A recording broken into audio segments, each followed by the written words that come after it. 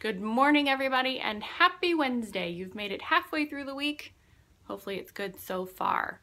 We are back today to talk about the home buying process in 10 simple steps. These steps are from an article released by Realtor.com late last month, I believe. And so I just thought I would come on here and talk to you about them instead of making you read it. But the article is linked above in case you just want to read it. So today we are talking about items five and six.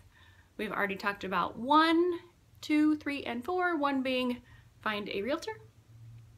Two being find a lender. Number three, clean up that credit if you need to. And number four is apply for the mortgage.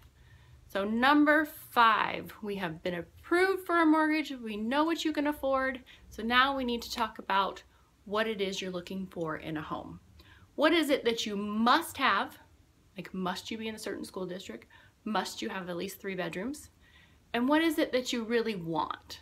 Like, do you want granite countertops? Do you want a third bathroom? Things that might not be a deal breaker, but they're things you really want. So make that list and then go over it with your realtor and see if it fits realistically into your price range. So then once we get there, we get to number six, which is to look at homes, the fun part or maybe the frustrating part because if you're in a market like ours, there's not much out there to look at. So just be patient. This process can take a while. I mean, I've had buyers find the house they want to buy on the first day. And I've had others that take six months. So it just, just be patient. The right house will come.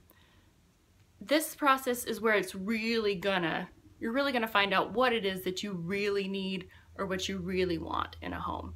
So, because you could find a house that checks off all the boxes, but it just doesn't feel right to you.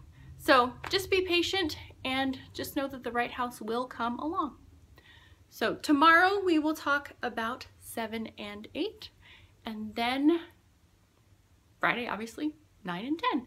So if you have any questions about anything we've talked about so far or anything real estate related, please put them in the comments below and I will be happy to answer them. And as always, if you or anyone you know is thinking of buying or selling a home or just has questions about real estate, please reach out. I'd love to talk to you. Hope you have a great day and I will see you tomorrow.